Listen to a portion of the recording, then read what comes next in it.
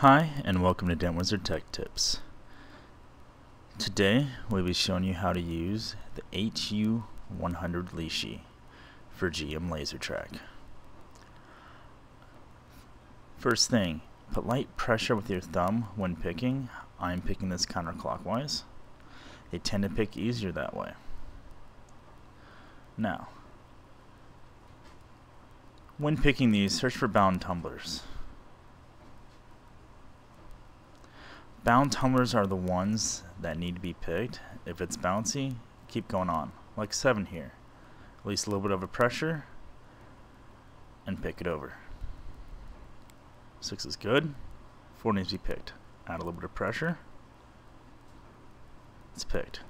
How you know if it's picked is if it bounces roughly a full depth, so a full box. Seven's good.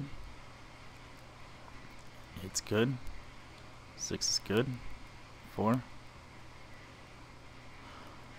Two has half a bounce. But you see how I'm putting a lot of pressure on this? This is something you're not supposed to do. All I needed to do was add a little bit more pressure to turn the lock. The lock was picked, but because I was using such light pressure, it didn't just flow over. All I had to do was add a little bit of pressure with my thumb and the lock rolled. These aren't too bad to pick. You can overpick them if you use too much pressure. Which is why I tend to use very, very light pressure like how I showed with this. Always remember, pull alarms, and then pull the Lishi out. Review and tips. This is going to be a long one, but bear with me. Use light turning pressure with your thumb. If your thumb is starting to hurt or your wrist is starting to hurt, you're using way too much pressure. 2. Try picking counterclockwise. I have found this to be the easiest way to pick these locks over. 3. Again, light picking pressure.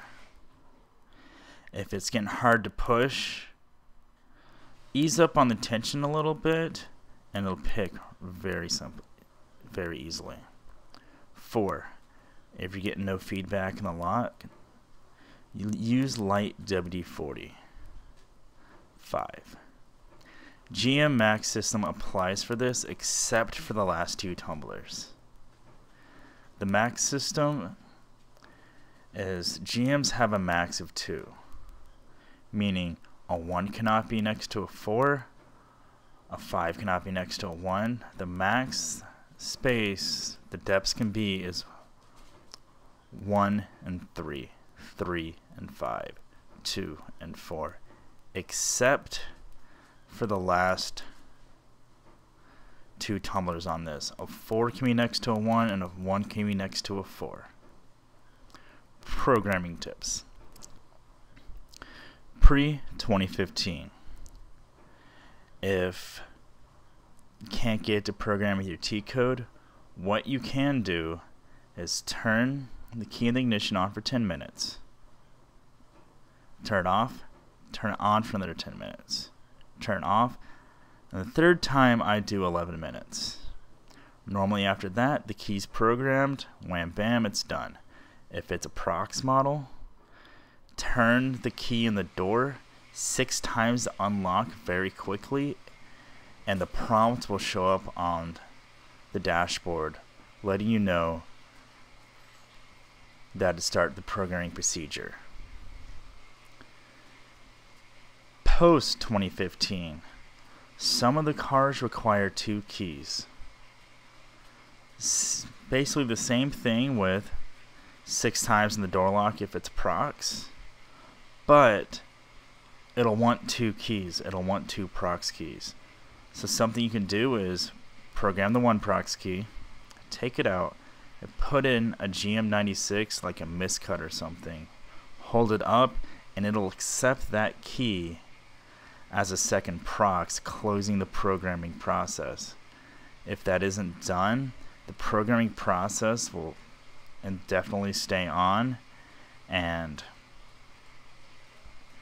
it'll start for a little while and then boom just it'll not start anymore and kick it straight back into programming. Also to close out the programming for a prox model hold the start button for 15 seconds until the dash turns off. This will exit it out of programming mode. I hope this was helpful. I know this review was a little long but know, I hope this really helps, guys. You guys take it easy, and you guys have a great day.